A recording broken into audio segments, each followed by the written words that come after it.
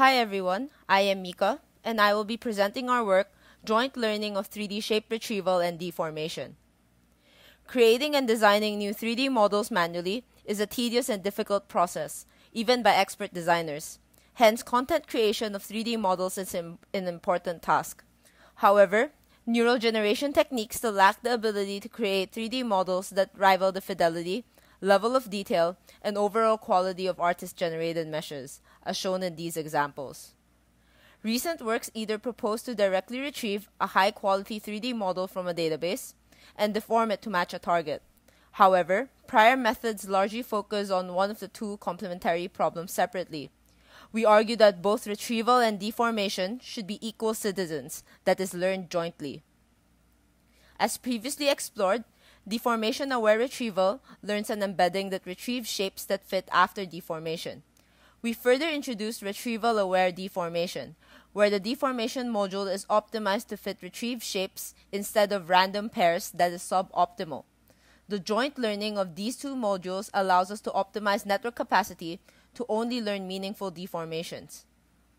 Summarizing, our problem statement is as follows we propose a novel technique for producing high quality 3D models for a given target image or scan by retrieving from a database of 3D shapes, then deforming it to fit the target.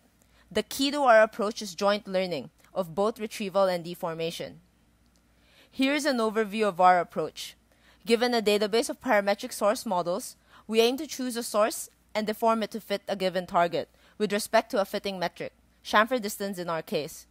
We jointly learned the set of source-dependent deformation functions, ds, and the retrieval latent space r, where it retrieves based on distance measure, dr. The key to our joint training scheme is soft retrieval. The given target and source models in the database are embedded into the latent retrieval space R. The distance of each source to the target in this latent space defines the probability of selecting it in our soft retrieval module. Using this probability distribution, we sample a set of sources SC that are used to train both the retrieval and deformation modules, instead of training on random source target pairs. This makes our deformation module also retrieval aware. We optimize the retrieval and deformation modules in the alternating scheme. In addition to joint training, we propose a novel structure-aware deformation module. Unlike prior neural deformation modules, it can handle heterogeneous data, where each model has a different number of deformation parameters, which is especially important for human-made objects made of different number of parts.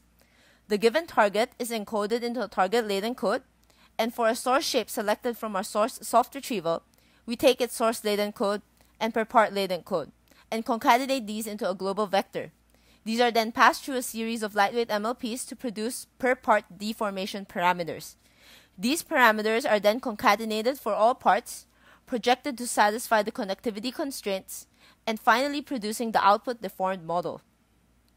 We compare our approach with several baselines such as DAR, which uses deformation aware retrieval but not retrieval aware deformation, and uniform sampling, which is the same as our method but without the soft retrieval module.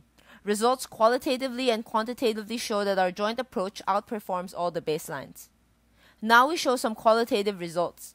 Given these input images, here are the retrieved models of the different methods and the corresponding deformed models. Notice that our approach achieves the best results as shown by the thickness of the leg of the chair, the shape of the back, and the shape of the legs of the table.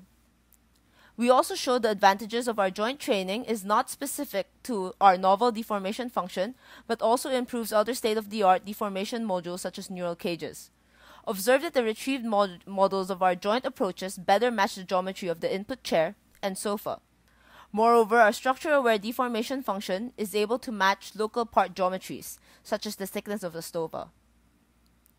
As manual fine-grained part annotating is a tedious task, large database of such models are scarce. We show that our approach works on automatically segmented models, such as those found in Complement Me, enabling the use of our method on a wider array of source databases. Finally, we showcase applications of our pipeline, such as fitting to product images of Google search, as well as to real world scans. Thank you.